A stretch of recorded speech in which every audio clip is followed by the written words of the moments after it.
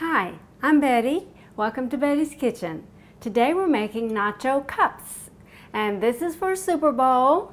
I've been making a few things and I'm trying to get uh, to things that are uh, finger foods where you just pick them up and go and maybe they're just one bite um, in size and I think this kind of is like that and it serves as a main course also. So um, let's get started with our nacho cups. I'm going to use some canned products here. Uh, this is canned chili. So if you can find some canned chili, um, one can is what we're putting in a pot. This can be chili with no beans or just regular chili with beans. I have chosen the no bean variety because the next item I'm putting in is refried beans. So there are going to be plenty of beans in here. But this is all mashed up like it comes from the can and that will help in terms of the texture and provide the bean part of the chili. We're going to take these to the stove and over low heat we're going to just get them blended together and warmed up ready to go into our cups.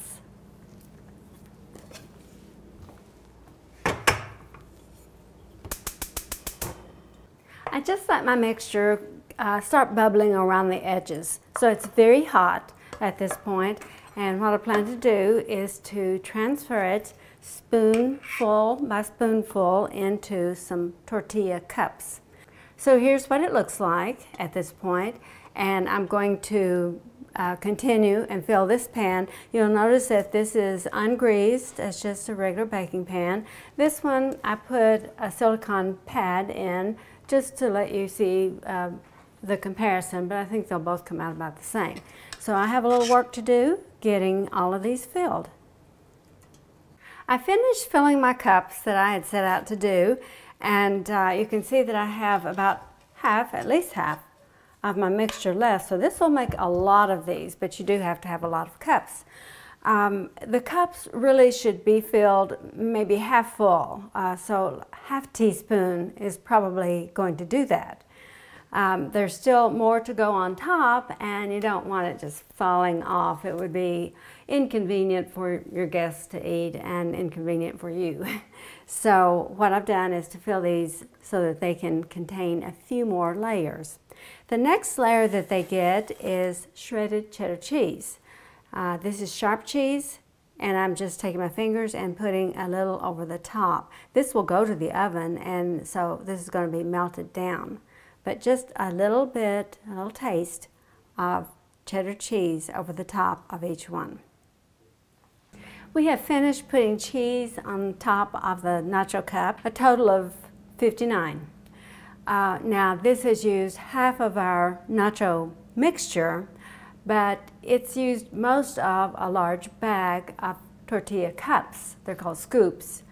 Uh, so if you plan to do all of your nacho mixture this way, then you probably need to get two large bags of tortilla scoops.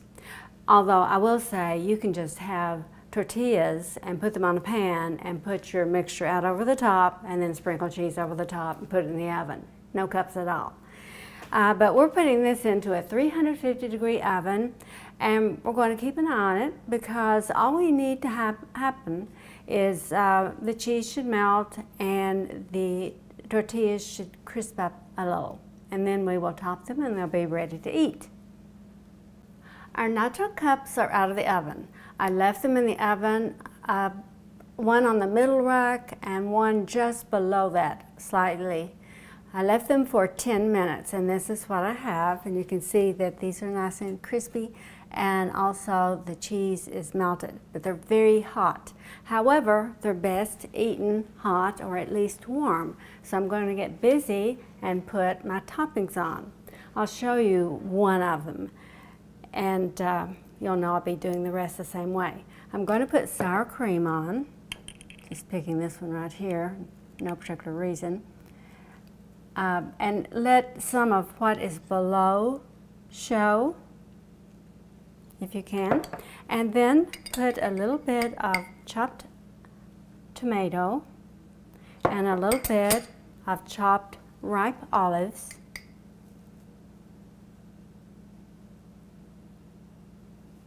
And it's already looking pretty and colorful.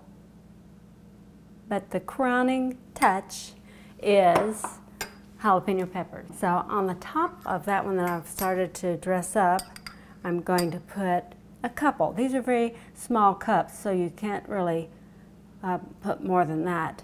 But a couple, and it looks so pretty. And we'll finish all of the others up, and then we'll place them on our serving tray.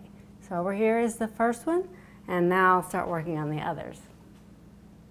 Our nacho cups are finished, and this is what they look like. And there are 59 of them here, so you can just play with the recipe until you get as many as you feel like you're going to need. But you can see that the 59 take a, a pretty large platter and um, that's, that's what it's going to need if you put them all on one platter. Uh, you can't stack them, so you have to have arrangements for putting them on something. I love these, so I'm going to take a couple over here to my plate and give them a taste for you. Um, they're all pretty much identical. So we'll just bring a couple over here. And I'm gonna bite through this. This truly is finger food because you can, you don't need a fork to cut it and uh, you can actually take it in one bite. I'm not going to because I'm gonna try to um, be a little more reserved.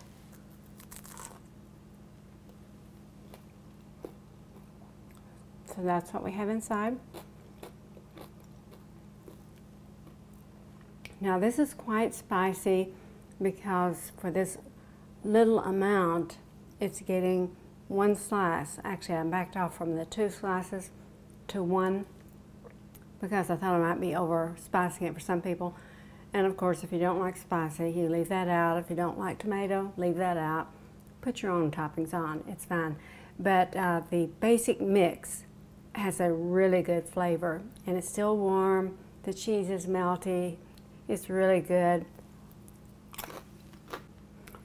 I think this is just about the perfect food for a Super Bowl party. In fact, this is the first recipe that I ever made for YouTube, although I didn't make it in cups. I just made the nachos basically using um, the filling, but not the topping. Uh, and that got me started uh, I did it for a Super Bowl, which was seven years ago. So this got me that far. Hope you enjoy it.